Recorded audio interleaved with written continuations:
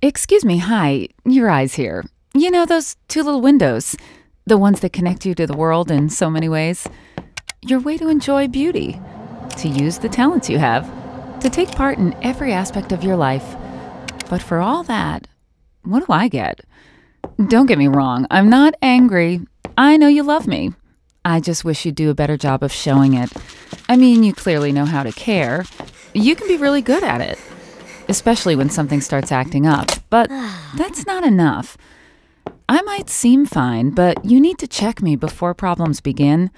If you wait, it might be too late, and you could lose these.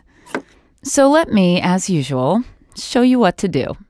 I'll start by clearing up a few common myths, like the idea that if I can see, I must be healthy, or that if you can't notice a problem, you don't need an eye exam, or that the only reason to visit an eye doctor is for vision correction.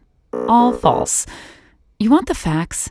Doctors estimate that roughly 80% of vision loss is preventable if you maintain good eye health habits like stopping smoking, wearing sunglasses, giving me a bath from time to time, and most importantly, if you get regular eye exams. It's easy to find a bunch of great eye care professionals, so why not look one up? They can identify problems, even potential ones, so you can do something about it. Not just vision problems, other problems like heart disease, diabetes, stroke risk. All of those can be seen early just from an eye exam. In other words, I'm a window into your overall health. So why wait? Bausch & Lomb wants you to take care of me. You should want to take care of me. Check it out. Make an appointment. Give me tears of happiness.